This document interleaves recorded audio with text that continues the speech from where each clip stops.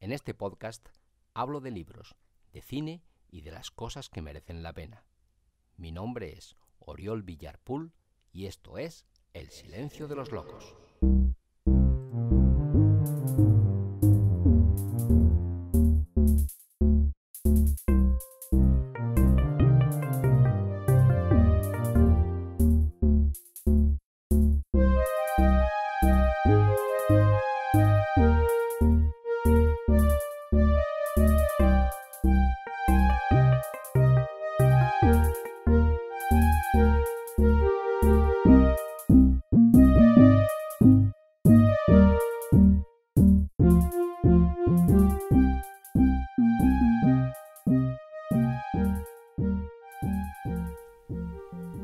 Hola, sed bienvenidas, sed bienvenidos a un nuevo episodio de este podcast titulado El silencio de los locos.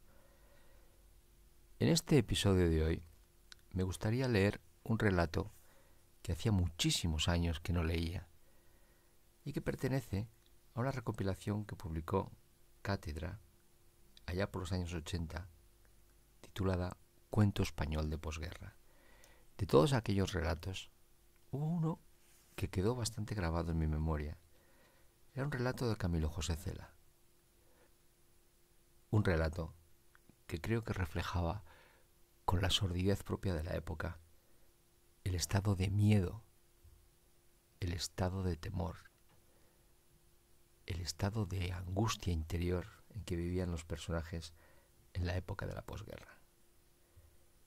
Este relato ambientado en el mundo rural, ambientado en el mundo taurino, refleja las estructuras de poder, refleja la sumisión de los unos frente a los otros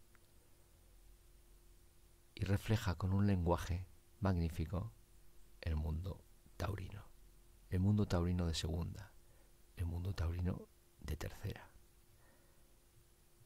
El relato, como digo, es del gran Camilo José Cela y se titula El gallego y su cuadrilla. Y dice así.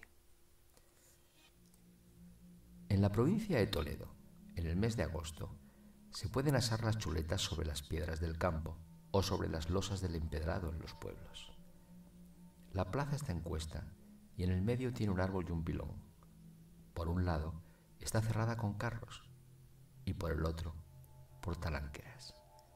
Hace calor y la gente se agolpa donde puede.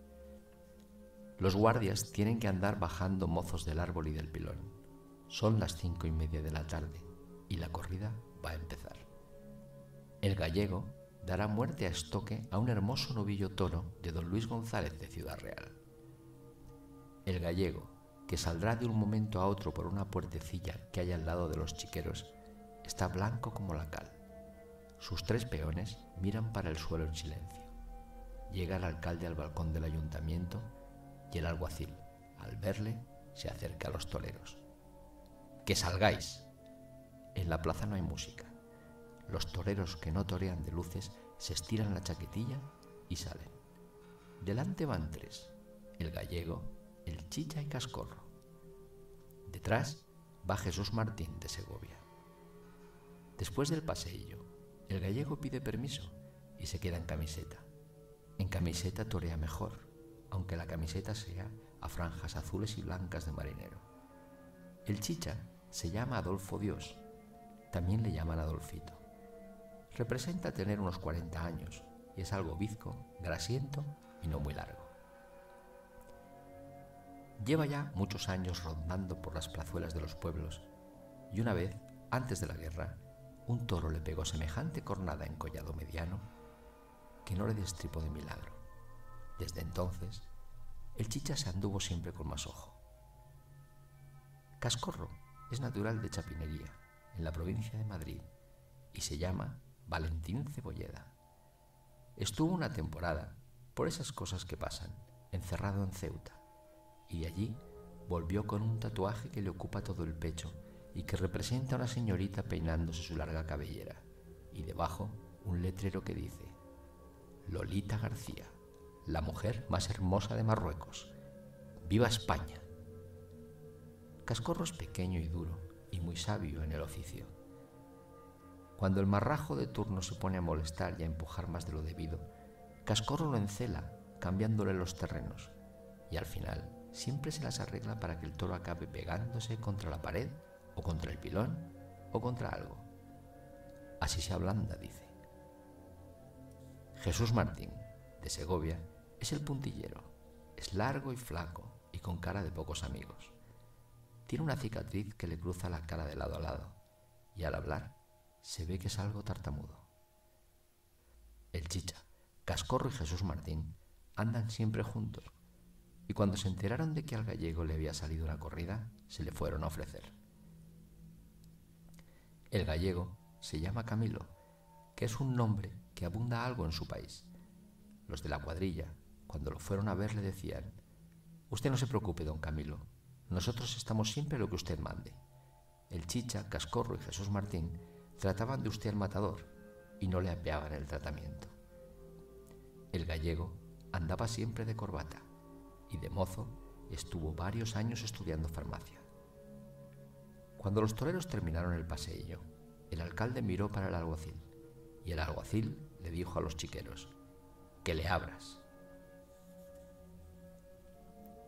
Se hubiera podido oír el vuelo de un pájaro. La gente se cayó y por la puerta del chiquero salió un toro colorado, viejo, escurrido, corniveleto. La gente, en cuanto el toro estuvo en la plaza, volvió de nuevo a los rugidos. El toro salió despacio, oliendo la tierra, como sin gana de pelea. Valentín los pabiló desde lejos y el toro dio dos vueltas a la plaza trotando como un borrico. El gallego desdobló la capa y le dio tres o cuatro mantazos como pudo. Una voz se levantó sobre el tendido. ¡Que te arrimes, desgraciado! El chicha se acercó al gallego y le dijo, no haga usted caso, don Camilo, que se arrime su padre. ¿Qué sabrán? Este es el toreo antiguo, el que vale. El toro se fue al pilón y se puso a beber. El alguacil llamó al gallego al burladero y le dijo, que le pongáis las banderillas. El chicha y cascorro le pusieron al toro a fuerza de sudores dos pares cada uno. El toro al principio daba un saltito y después se quedaba como si tal cosa. El gallego se fue al alcalde y le dijo, Señor alcalde, el toro está muy entero. ¿Le podemos poner dos pares más? El alcalde vio que los que estaban con él en el balcón le decían que no con la cabeza. Déjalo ya. Anda, coge el pincho y arrímate, que para eso te pago. El gallego se cayó, porque para trabajar en público hay que ser muy humilde y muy respetuoso. Cogió los trastos, brindó al respetable y dejó su gorra de visera en medio del suelo, al lado del pilón. Se fue hacia el toro con la muleta en la izquierda y el toro no se arrancó. La cambió de mano y el toro se arrancó antes de tiempo. El gallego salió por el aire y antes de que lo recogieran, el toro volvió y le pinchó en el cuello. El gallego se puso en pie y quiso seguir. Dio tres muletazos más y después, como echaba mucha sangre, el alguacil le dijo, ¡Que te vayas! Al alguacil se lo había dicho el alcalde y al alcalde se lo había dicho el médico. Cuando el médico le hacía la cura, el gallego le preguntaba, ¿quién cogió el estoque? Cascorro. ¿Lo ha matado? Aún no.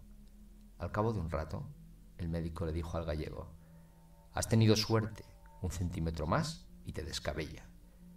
El gallego ni contestó. Fuera se oía un escándalo fenomenal. Cascorro, por lo visto, no estaba muy afortunado. ¿Lo ha matado ya? Aún no. Pasó mucho tiempo y el gallego, con el cuello vendado, se asomó un poco a la reja. El toro estaba con los cuartos traseros apoyados en el pilón, inmóvil, con la lengua fuera, con tres estoques clavados en el morrillo y en el lomo. Un estoque le salía un poco por debajo, por entre las patas. Alguien del público decía que a eso no había derecho, que eso estaba prohibido. Cascorro estaba rojo y quería pincharle más veces. Media docena de guardias civiles estaban en el redondel para impedir que la gente bajara. Queridas, queridos, esta ha sido la lectura del relato El gallego y su cuadrilla de Camilo José Cela, perteneciente a la recopilación Cuento Español de Posguerra, publicada por Editorial Cátedra allá por los años 80.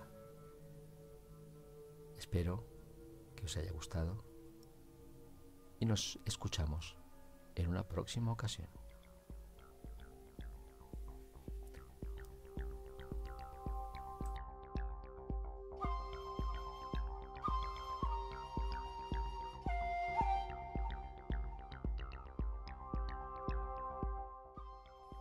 Muchas gracias por haber llegado hasta aquí.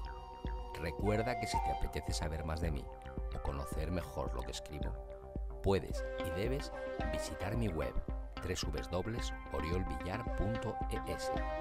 Allí encontrarás relatos, poemas, textos teatrales, guiones de cine, artículos y muchas cosas más.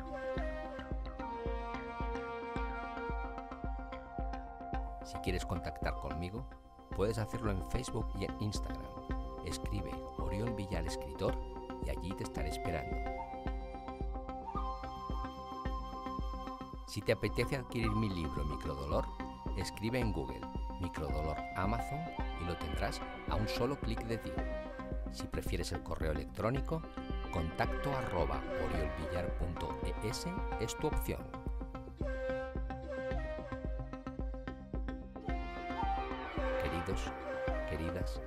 Esto ha sido todo por hoy. Espero que el episodio te haya gustado y si así ha sido, compártelo en tus redes sociales para que otros puedan disfrutarlo igual que tú has hecho.